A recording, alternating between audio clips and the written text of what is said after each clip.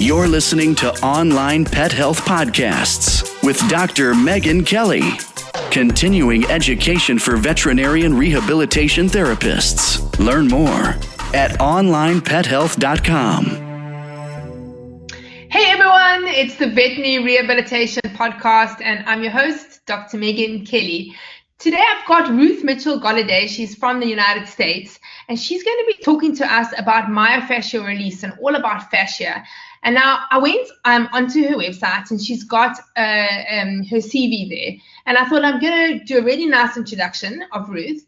And I looked at her CV, and I can't even remember how many pages there were, but Ruth has studied so much. I actually became completely overwhelmed and I decided that I'm just going to leave it to Ruth um, just to chat about um, herself and her history and all the education that she's done. It's really unbelievable the, the amounts of courses and certificates and studying that she's done. Welcome, Ruth. Lovely to have you on the show. Well, thank you, Megan, very much. Your words are very, very kind. Um, yeah, I have been a licensed physiotherapist for 47 years and a licensed massage therapist for about 29 years. I'm nationally board certified here in the United States as a massage therapist, and I am also an equinology equine body worker. And over the past 47 years, I have taken over 2,000 hours of continuing education. And I think that's exceedingly important for anyone who is going to practice to stay current with what's going on. At the present time, I treat humans, horses, and dogs, uh, as well as teaching for equinology and the sister companies throughout the world.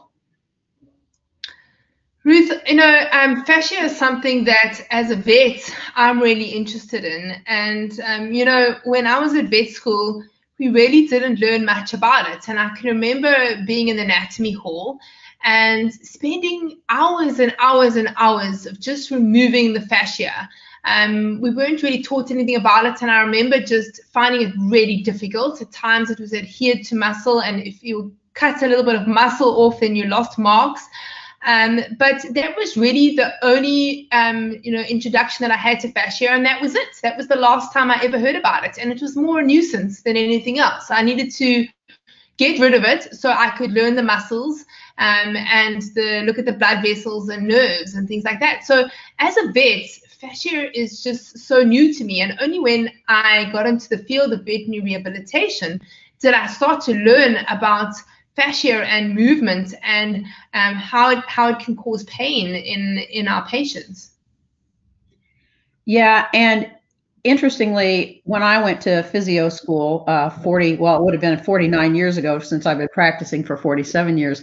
I had the exact same experience you did. They would tell us in the anatomy lab go ahead and get rid of all that white stuff so that we can get to the quote unquote real structures.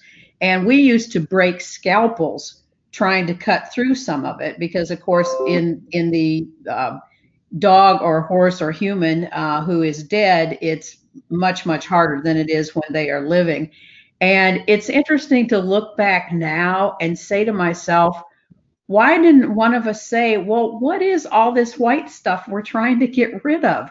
I mean, why is it here in the body if it's meaningless and we have to cut through it to get to quote unquote the real structures? And, and I don't I don't understand why none of us asked that question. Yeah, I mean, as you're saying it now, yeah, I also myself, I didn't question it.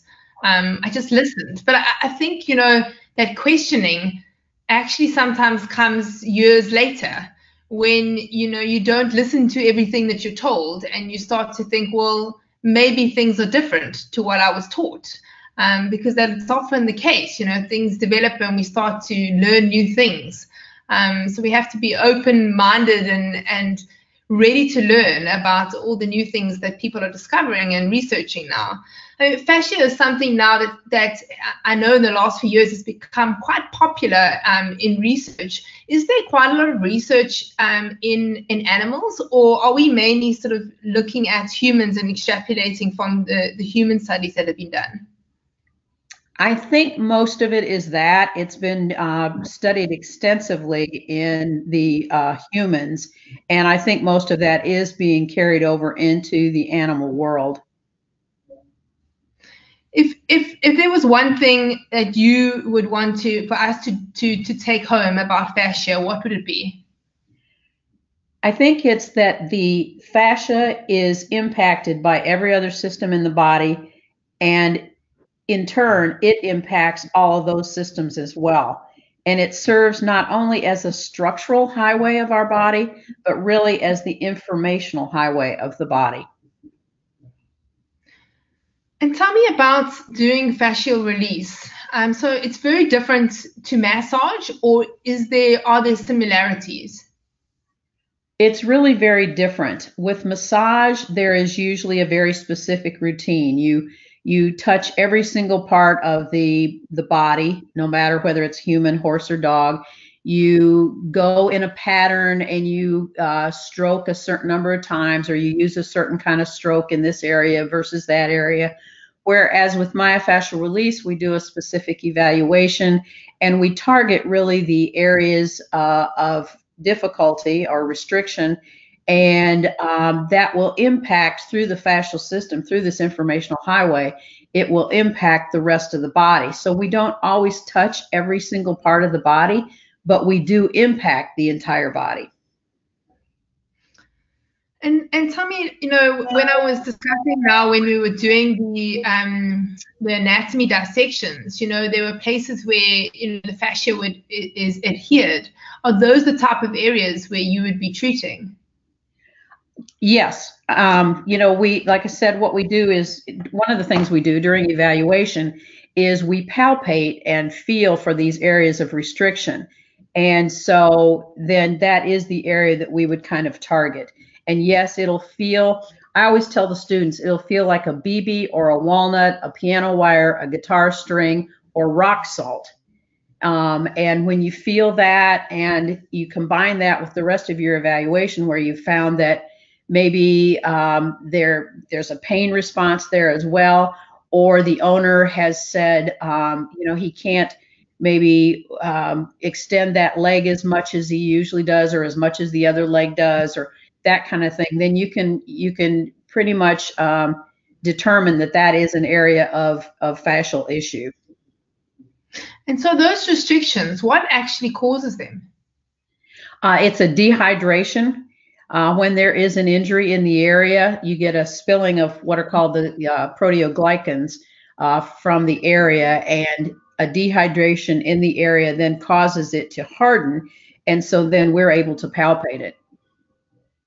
And and and the mechanism of doing the myofascial release does that work to actually help to rehydrate that area? Absolutely. And and how does it do that, Ruth? So through through I mean, what's the the the, the pathophysiology behind that? well, that's a four-hour lecture. uh, but uh, it is. That's one of the lectures in the uh, in the class. It's a four-hour scientific lecture um, where we we describe how the fascia uh, is released through the myofascial release and how that can help bring hydration to the area. All right, and if you could say it in one minute, can you? Oh, let me think about this. Um, if we think about one particular cell, it does not directly communicate with systems such as the cardiovascular system or the um, lymphatic system, um, but it has to communicate through the uh, ground substance, which is part of the fascial system. Uh, and that ground substance is made up primarily of proteoglycans, which are little sponge like hydrophilic uh, structures. And when there is a, an injury, you get a spilling of the proteoglycans. Uh, that means you get water loss from that area, which is, you know, as soon as those spill, you get inflammation in the area right around there. Um, the, the cell is able to send a message to the central nervous system that there needs to be a repair process. And not only will the brain send down the uh, reaction of guarding, but will also send down fibroblasts to begin the healing process. With myofascial release, we are working with a piezoelectric tissue, um, which will respond to compression in an area. Our hands create the mechanical pressure. The body turns that into a chemical reaction. This starts the flow of ions and assists with this healing process. Wow. Okay. Well done. That was four hours in one minute. Um, yeah. Okay. a, lot, a lot more complicated than I thought it was. Um, okay. Chatting about fascia, you know, and just compensatory issues. So this is also something, you know, that we weren't really taught a lot at vet school. And um, I I have problems with my lower back, and um, you know, I canoe and when I'm in the canoe, I often, to try and compensate for lack of strength, will tend to lean forward. Um, and then when I get out of the boat, I have really just a lot of discomfort in my lower back and literally that I can't stand up. And my physio um, said it, she actually used the term creep um, and you know, my thoughts are that is is a fascia um, that is causing that. And once I sort of stand up and stretch it out, then I'm fine. Um, is is that something that sounds like fascia to you? She uses the word what? Creep. She called it creep when you, when you basically keep in one position and then the tissues, you know, um, basically stick in that area until you stand up. Um, and my thoughts were it must be my fascia, sort of over my lower back, um, that is causing causing that discomfort. Because once I stand up and then stretch it out, then it's fine. Or maybe it's muscle. Well, I think it's a combination of the two because one of the things that you learn during the scientific lecture is that you really cannot have a muscle without the aggregation of all the fascial tissue.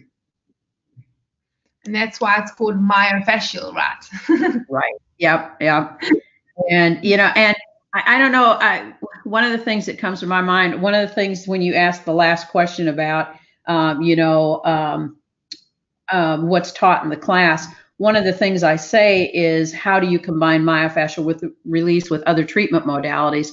And um, you know like for your low back if you were a patient of mine i would probably do some myofascial release but then i would instruct you in what are called mckenzie uh, extension exercises because if you would do like five or 10 um, standing extensions prior to the canoeing, and then immediately when you get out of the canoe, plus if you do that throughout the day, because think about your job, you are a veterinarian, you're leaning over a treatment table a lot.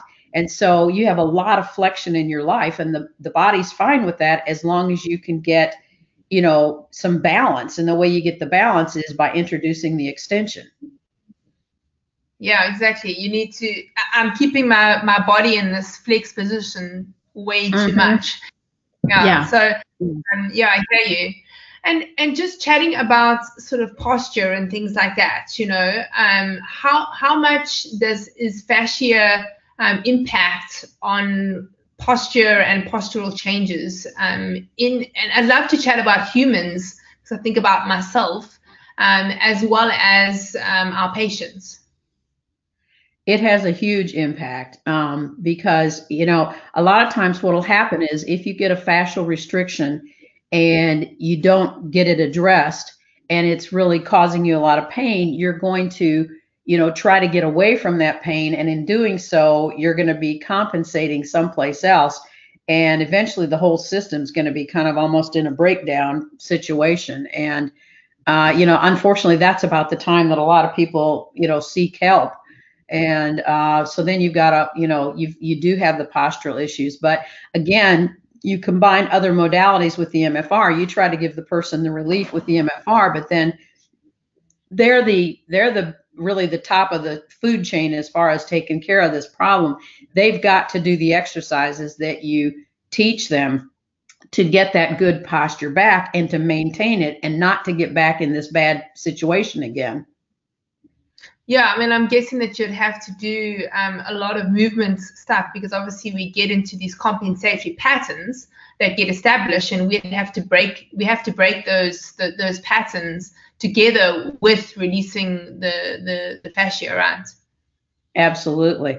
Are you going to be attending the class in uh, next month? Oh, I'd love to, but I'm not. Um, so, for those of you that are listening, um, Ruth is actually here in South Africa, and I would love to be coming down to to meet you, Ruth. Um, she is um, doing a course um, in Hermanus, um, where we've actually got a holiday home. So maybe if you're there and we're there for the same time, I might be able to pop over and come say hi and meet you in person. I'd love that. do you want to tell us a little bit about your course and what you're going to be offering? Well, it, it is about 40% lecture and 60% lab work where we actually are hands on with the dogs. Uh, I do do um, several lectures. One includes that four hour scientific um, lecture. Uh, we t- I teach an extensive myofascial evaluation of the dog. I mean, we all are already doing certain types of evaluation for the dogs. Um, but this is okay, add to what you're already doing ways of uh, evaluating for myofascial restrictions. And then I teach techniques to address restrictions throughout the body and how to combine myofascial release with other treatment modalities. And, you know, that can include exercises, uh, proper body mechanics, um, you know, anything along those lines. Sounds absolutely fabulous, Ruth. And and I believe you're also um, an author. You have two books too. I do. One is called Facilitated Healing Through Myofascial Release, Putting the Pieces Together for Horse and Rider. And the other one is called Canine Myofascial Release. So for those of you that are interested um, in attending the course, um, we'll, I will put a link in the podcast notes, as well as those of you that are interested in any of those two books. Do you do you ship um, internationally with those, Ruth? I do. Okay, perfect. Ruth, thank you so much. Um, when are you actually out here? When are you in South Africa? What are your dates? I arrive on May 25th. We begin the Canine 1 class on the 26th it goes through noon on the 29th. We then start Canine 2 uh, at 1 o'clock that afternoon, and it then uh, finishes on the 31st. And then I will be teaching the equine MFR1 on June 2nd through the 6th, and MFR2 for equines on the 8th through the 10th of June. Okay, wow. So there's quite a lot of learning going to be happening there. Um, I will try my best to get down to Hermanus um, so I can pop in and at least meet you in person, Ruth. Thank you oh, so much for today. And is this your first visit to South Africa or have you been before? Oh, I've been several times. Okay, and it's a so, beautiful, beautiful place. Oh, it's a lovely place to go, Hermanus. Yes. Wonderful, Ruth. Have a lovely day and look forward to hopefully meeting you in May. Thank you so much. Vet Rehabbers, thanks for listening to my podcast. Don't forget to click the subscribe button, and it would be great if you could leave me a review. I want to know what are you doing on the 15th to the 17th of November? It is our Vet Rehab Summit, which is our online virtual conference for veterinary rehab professionals. Find out more information at onlinepethealth.com.